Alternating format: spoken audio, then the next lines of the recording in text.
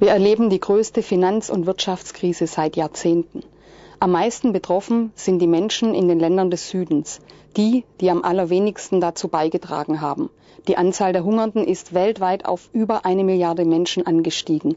Und die Welt gibt Billionen für die Rettung der Banken aus. Ein Bruchteil dessen würde genügen, um Armut und Unterernährung zu bekämpfen. Entwicklung braucht Gerechtigkeit. Deshalb fordert die Linke eine andere, nämlich gerechte Weltwirtschaftsordnung und eine umfassende Entschuldung, damit eine selbstbestimmte Entwicklung des Südens möglich wird. Wir wollen die Spekulation mit Nahrungsmitteln verbieten und die ländliche Entwicklung fördern, damit das Menschenrecht auf Nahrung endlich verwirklicht wird. Dafür sind weltweite soziale und ökologische Bewegungen, zum Beispiel das Weltsozialforum, Gewerkschaften, wichtige Bündnispartner.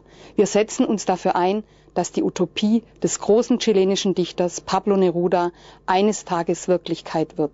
Erde, Feuer, Brot, Mehl, Zucker, Meer, Bücher, Heimat für alle.